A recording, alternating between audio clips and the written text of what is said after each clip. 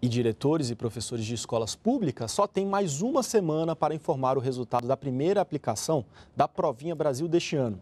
O prazo para envio dos dados termina no dia 30 de setembro e deve ser feito pela internet. A Provinha Brasil é uma avaliação para verificar as habilidades em língua portuguesa e matemática das crianças do segundo ano do ensino fundamental das escolas públicas.